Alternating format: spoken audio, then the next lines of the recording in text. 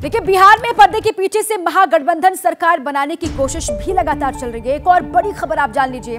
ये कोशिश दो फ्रंट पर चल रही है। एक और लालू है तो दूसरी ओर कांग्रेस भी अपनी तरफ़ से कोशिश में लगातार जुटी हुई है। कांग्रेस ने भूपेश बघेल को बिहार भेजा।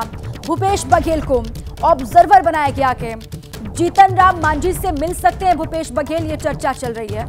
और मांझी को गठबंधन में लाने की कवायद कांग्रेस पार्टी भी अपनी ओर से लगातार कर रही है।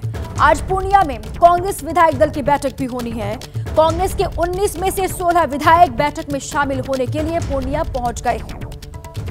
तीन विधायक अभी नहीं पहुँचे हैं, लेकिन 16 वहाँ पर पहुँच चुके हैं पूर्णिया में, जहाँ पर कांग्रेस की आज बैठक होने वाली है। भूपेश बघेल, जो कि ऑब्जर्वर बिहार के बनाए गए हैं, कांग्रेस पार्टी की तरफ़ से। खबर ये कि जीतन राम मांझी से वो मिल सकते हैं, उनसे मुलाकात कर सकते हैं। जीतन राम मांझी के साथ मिलकर आगे बढ़ने की कवायद कांग्रेस पार्टी भी शुरू कर चुकी है।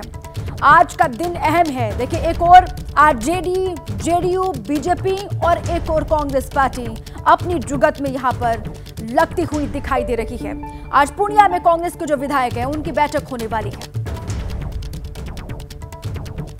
जैसे ही घड़ी का काटा दोपहर ढाई पे आए, बबीता जी का दिल सास बहू साजिश के लिए मचल जाए। और ये है इनकी बहू।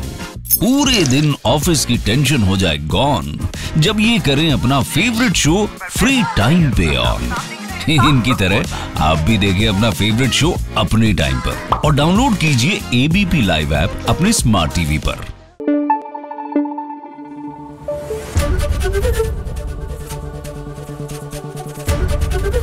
ABP news.